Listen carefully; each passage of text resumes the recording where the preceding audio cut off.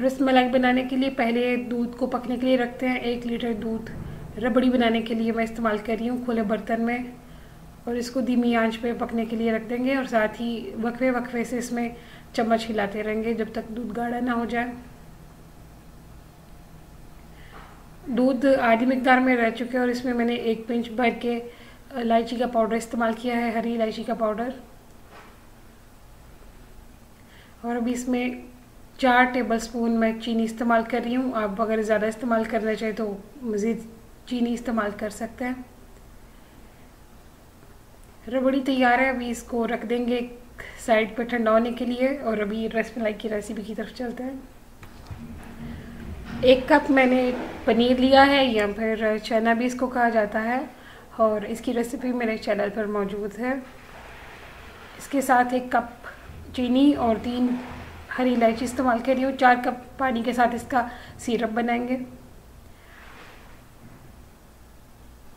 इसके अलावा एक चाय का चम्मच चीनी और एक चाय का चम्मच मैंने मैदा लिया है। इन दोनों को मिक्स करने के बाद अभी पनीर इसमें शामिल कर देंगे और उसको गूंद लेंगे अच्छे से।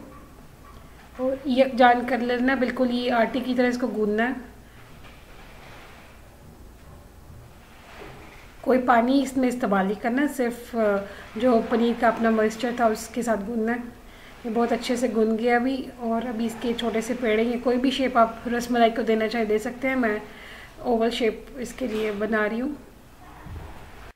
रसमलाई में क्रैक्स नहीं होने चाहिए, नहीं तो वो फट जाएँगी। और हल्के से इसको उंगली से प्रेस भी करना। शीरा बनाने के लिए एक कप चीनी में चार कप पानी इस्तेमाल किया है, अभी शीरा पकने के लिए रख देंगे जैसे ही बबल आना शुरू हो तो भी इसमें रस मलाई शामिल कर देंगे। बिल्कुल गाढ़ा सिरप नहीं बनाना, बस, जैसे शुगर मिक्स और पानी उबलना शुरू हो तो रस मलाई शामिल कर देंगे।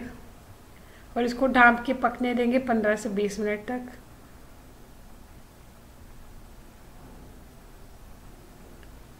इसके बाद इसकी जो साइज़ है, वो डबल हो जाएगा।